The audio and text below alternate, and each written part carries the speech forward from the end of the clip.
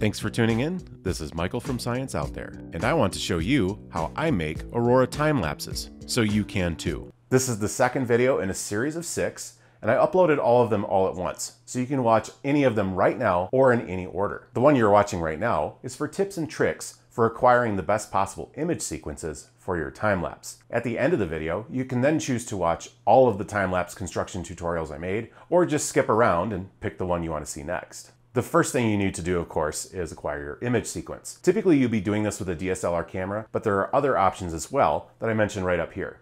I want to get some real quick math out of the way first. The most common frame rates for actual video output round out to 24, 30, or 60 frames per second and some variations on those in Europe, like 25 and 50 frames per second. However, attention to detail matters. You'll also run into rates like 23.976 frames per second, 29.97. I won't get into the details of holdovers from early 20th century broadcast television, but I want to be really clear that 23.976 and 24 are not the same. And if you mix them up in your workflow, you'll get a herky-jerky time lapse. Most people might not notice, but I will, and I'll catch you. Most of the time, your video capable camera is going to output regular video in one of these slightly off numbers, depending on what region your camera came from or what region you tell the camera to output video for. So when you go to produce a final video, make sure you are consistent. If you record regular video at 23.976 and build your time lapses at 24 or 30 and put those two videos together in your final production, it's gonna look a little weird. The easy answer Pick just one and stick with it. For purposes of this video, I'm going to be doing all time lapses and calculations at 23.976. That's really close to 24 and close enough for this next math part. That means a 24 image sequence is going to result in a 1 second long time lapse. 240 images, a 10 second long time lapse. And 1000 images will be just over 40 seconds long. Ideally, you want to make a time lapse sequence that's not too long, but also not too short. My preference is 10 to 20 seconds, and that usually looks pretty good in a final production. Too long without much changing in your video and your audience will get bored.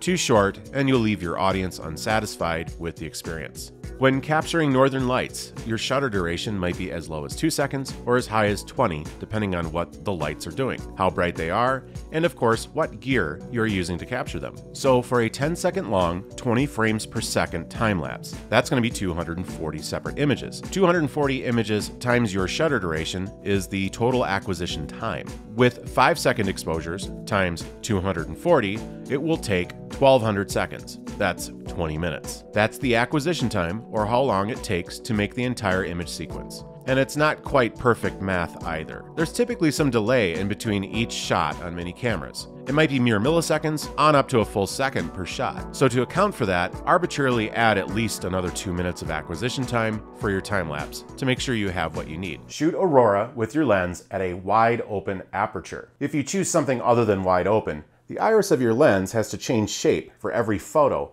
and it might not be consistent from shot to shot. Shooting at something other than f2.8 on an f2.8 lens might introduce some flicker, but there's a fix for that, and you might get some flicker shooting wide open anyway. I'll come back to that in one of the video options you'll see at the end.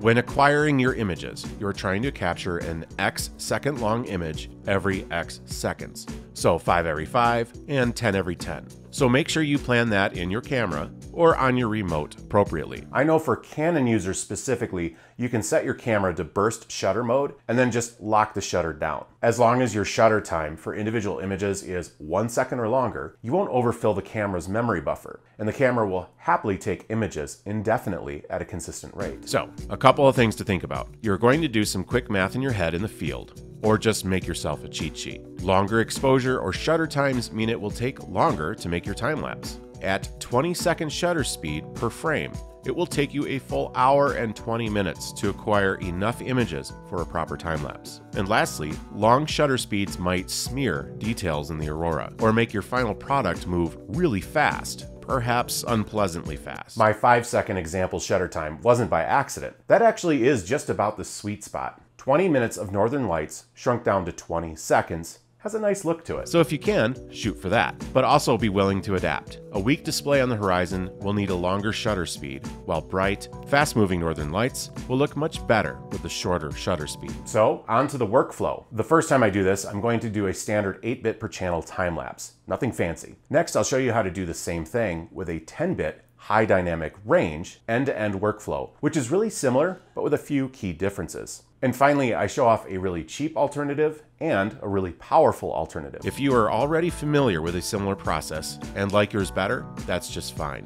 But you might learn a few nuggets along the way and tricks you might like to incorporate into yours. So don't click away just yet. If you're watching one of these and you're screaming at me at some point, why not just use such and such software? or some specific method. I'll probably be talking about it in one of the other videos. If I miss some ideas and you'd like to share, down in the comments so I can steal uh, have a look at it. Click any one of the four panels on your screen right now to jump to the time-lapse method you're most interested in, or watch them in order for the best experience. What are you waiting for? Click one. Click the first one. Quick, you're almost out of time.